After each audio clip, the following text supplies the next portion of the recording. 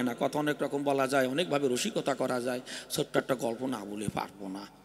আপনারা কি কন? কব। কব। খালি কও। এত সময় প্রশ্ন করতেছিলাম, তখন কয়, না, যা আর একটা করো প্রশ্ন। গল্পের সময় কয়, কও। আমি না কয়ে থামবো নাকি। এক ভদ্র মহিলার শরীরটা বেশি ভালো না। ঝিনঝিন করে, মাথা ঘুরায়, বমি বমি পায়। আর বমি বমি পায়, কেন পায়? মায়েরা ভালো টের পায়। মাথা টাতা গুল্লি খায়। তারপরে বাদ যখন নামানোর আগে ফ্যানের গন্ধ মোটে সইতে পারে না। কেন সইতে পারে না? আমি ও ব্যাখ্যা মোটে দেবই না। এখন উনি ডাক্তারের কাছে গেছে। ডাক্তারবাবু কি বলে, কেন এত তাড়াতাড়ি এত সংশয় কেন? বলে না মাথা গুল্লি দেয় পড়িয়া যায়। ভাতের ফ্যানের গন্ধ মোটে সইতে পারি না। তারপরে জিন জিন করে। ডাক্তার কাছে সব কয়টাই হয়েছে নাকি? বলে, আরও কত কি হবে? কওয়া যায় না, আপনার দ্বারে আইসি, আপনি একটু ব্যবস্থা দিন। উনি আন ধরে টিপে টিপে আটটা মেশিন টেশিন দিয়ে বলছে, না, এত তাড়াতাড়ি যাবেন না, এখনও দেরি আছে। তবে আপনার কয়েকটা টেস্ট করতে হবে। প্রথমে আপনাকে ইউরিন টেস্ট করতে হবে। বেশ, উনি লিখিয়ে দিয়েছেন। ডাক্তারবাবু, তাহলে কোন জায়গায় যাব? উনি হাত দিয়ে দেখিয়ে দিয়েছেন, ওই যে দেখেছেন, ক্লিনিকটা দেখা যায়, ওখানে যাবেন। এক এক ডাক্তার আবার এক এক জায়গায় পাঠায়, কেন? ওখান থেকে আবার কমিশন খায়। তবে আপনাদের এই সব এলাকায় কমিশন খাওয়ার ডাক্তার টাক্তার নাই।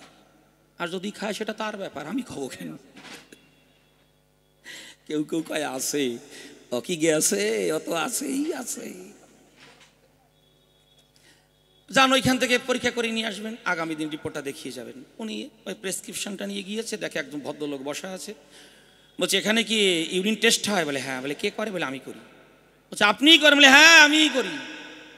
আর কেউ করে না যে, না, আমিই করি। মহিলাটা দম নিয়ে বলছে, আপনিই করেন? বলে হ্যাঁ আমিই টেস্ট করি। তা কখন আনব? কীভাবে আনব? বলে, সকালবেলা একটা পরিষ্কার পরিচ্ছন্ন বোতলে কাঁচের শিশি হলে ভালো হয়, ছোট্ট। আবার কেজি কেজি আনবেন না। একটা বোতলে অল্প একটু ভরিয়ে যখন সকালবেলা যখন বাথরুমে যাবেন প্রস্রাব করার সময়, অর্ধেকটা যে হয়ে যাবে, ওই মাঝখান থেকে ধরে বাকিটা কমপ্লিট করে ওইটুক নিয়ে আসবেন। বেশ। উনি ঠিক সাড়ে আটটা কি আটটার সময় ওই বোতলটা আর সঙ্গে এক প্যাকেট মোগলাই চানাচুর নিয়ে গেছে।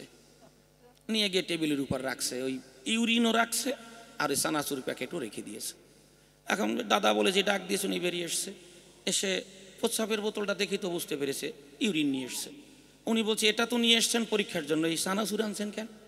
তাহলে দেখুন দাদা, আপনি কতকালকের জোরে জোরে কথাটা বললেন, আমি টেস্ট করব, আমি টেস্ট করব, আমি তো টেস্ট করি।